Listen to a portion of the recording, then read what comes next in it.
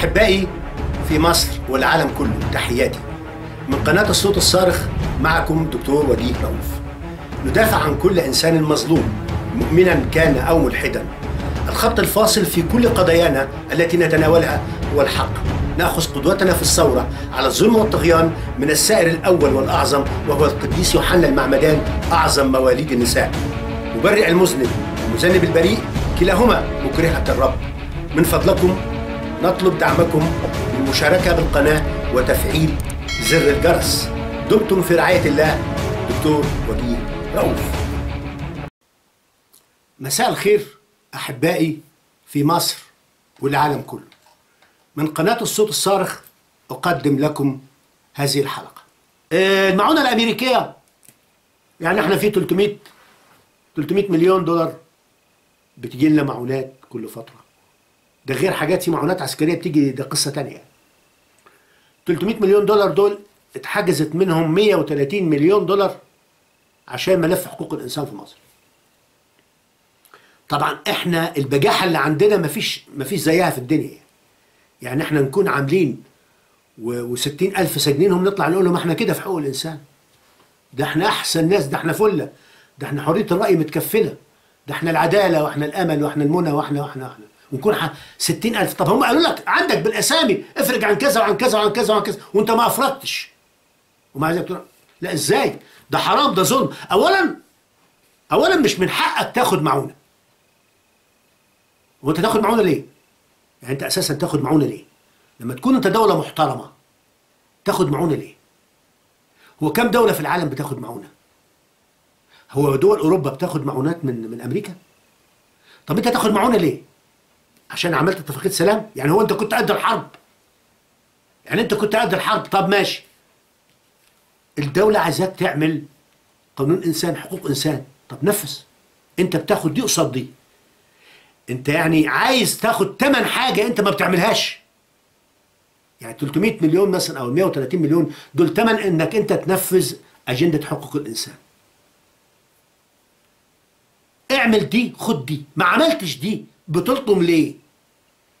انت عايز تظلم الخلق وتقتل اللي تقتله وتدوس على اللي تدوس عليه وتسجن اللي تسجنه وفي نفس الوقت تاخد فلوس انك ماشي صح. اولا دول أوروبا ودول أمريكا مش غبية. عندهم تقارير وعندهم تصوير من فوق وشايفين اللي بيتعمل والبهدلة اللي بتتم والفلوس أساسا اللي بتديها الدولة عشان رفع مستوى البشر في مصر بتروح فين وفي أي مشاريع. وهل المشاريع دي لي ليها جدوى. يعني أنت لما تبني لي أبراج وتبني لي قصور ومدينة أنهي أحسن؟ أبص ألاقي الأطفال في المدارس قاعدين على الأرض مفيش تخت. لا يا أخي. أنت راح كل بلد ابني فيها عشر مدارس آه زيادة. عشر مدارس زيادة. عشان الطالب يقعد مرحلة هيدرس ابني في كل بلد عشر مستشفيات. إحنا مش محتاجين مستشفيات. مش تبني مساجد مش تبني كنايس لا عدد المستشفيات المفروض يكون أكتر. الشعب بيعيا وفي أوبئة. لا أنت خلي المواطن يعيش في كرامة يقعد على سرير يتعالج. مش يقعد في الأرض عشان ياخد محلول. الطالب يقعد محترم على كرسي. وتاخد كتبه بالمجان لما تبني لي في الصحراء؟ مال أنا بالصحراء. هو الشعب ده هيستفاد إيه من المدينة الجديدة؟ ولا انت بتعمل لنفسك شكل وال... وال... وال... أنا ادرس هل الدول الخارجيه مش فاهمة؟ يعني أنا أنا أنا يكون عيالي في البيت مش لاقيين ياكلوا وأروح اشتري بدلة؟ عيالي في البيت مش لاقيين ياكلوا وأروح اشتري بدلة عشان ابقى شيك؟ ولا الاولى ان اكل عيالي الأول والبس عيالي الأول؟ اشيك. يعني رب الاسرة بيلبس عياله قبل ما يلبس نفسه. يعني يقول لك لا أشوف طلبات ولادي الأول. ولادي محتاجين إيه؟ لبس محتاجين إيه أكل محتاجين إيه كتب محتاجين إيه خروج. وبعد ما أوفيهم لو فضلت حاجة أشتري لنفسي. يبقى هو بيسبقهم. هكذا الدولة والنظام. في رئيس رئيس الدولة في كرواتيا كان عندها طيارة طيارة واحدة. بعت الطيارة. بعت الطيارة. عشان الفقراء وعشان توفر لهم مساكن. عشان توفر لهم مساكن. أنجيلا ميركل اللي كانت رئيسة في ألمانيا رئيسة وزراء كانت قاعدة في شقة إيجار وصوروها بطقم روب كانت لابساه من عشرين سنة. بتلبسه هو نفسه. فبيسألوها ليه؟ قالت لهم هو صالح وكويس. مش أنا مش جاي عشان أتمنظر. أنا مش موديل. لكن إحنا عندنا طيارات لا ونشتري طيارة. عندنا قصور وبنينا قصور وهنبني وهنبني قصور. طب والعالم اللي مش لاقية تاكل؟ طب والطالب اللي مش لاقي كرسي يقعد عليه وتختة يقعد عليها؟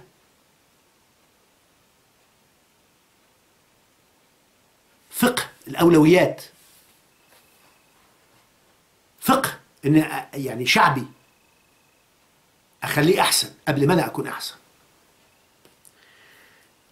ف طيب المعونة الأمريكية لا ده المعونة الأمريكية ال 130 اتشالوا مش هيرجعوا 130 مليون. في باقي باقي ال 270 ال 170 مليون من ال 300 ممكن برضه ما يجوش. وممكن يتحطوا على حاجة معينة. السنين الجاية ممكن بدل ما 130 مليون ممكن ال 300 ما يجوش وممكن تتأثر المعونات التانية. ده غير كده ده في دول تانية من المتوقع عشان ملف حقوق الإنسان من سيء إلى أسوأ حتى منظمة العفو الدولية أصدرت قرار عن مصر في ملف حقوق الإنسان والمفاسد. يعني مش هتجيلك من أمريكا بس هتجيلك من أمريكا ودول أوروبا. فأنت لازم تعدل نفسك. تعدل نفسك إزاي؟ لا تفرج عن الناس المسجونة. تترك حرية الرأي. تترك حرية الرأي. وتسيب الناس. وبلاش الكرباج ده. بلاش الكرباج ده. وعمر الكرباج ده ما دام مع حد. يعني شوفوا تأملوا اتعلموا من اللي فات. كل اللي كانوا ماسك ماسكين كرابيج قبل كده نهايتهم كانت إيه؟ شكلهم كانوا اتعظوا. اتعظوا يمكن ربنا يرحمكم يعني. طيب الجملة النقطة برضو اللي أنا عايز أتكلم فيها. و الحقيقة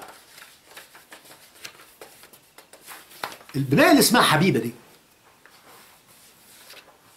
بتاعت الفستان لما قام عليها هياج وهي لابسة الفستان وقالت القصة بالكامل طبعا في كاميرات موجودة بتصور وهي طبعا يعني سبحان الله يعني البجاحة عملوا إيه؟ اخذوا الكاميرات وشالوا الأجزاء كلها بتاعه الحوارات اللي حصلت مع حبيبة والحجاب ومش الحجاب والبنطلون ولابسة فستان ليه وأنت مسيحية ولا مسلمة ولا وصفوها وراحوا رفعوا قضية على. على حبيبة اللي هو في جامعة طنطا إن هي. تجنت علينا تجنت علينا وانه هيرفع عليها قضية وهتتسجن. وطبخوا الطبخة فعلا ورفعوا القضية. البنايه فعلا كل ده حصل معاها وفعلا تنمروا عليها وفعلا وف... لكن لما لقوا القصة والبنايه لقت نفسها هتتسجن.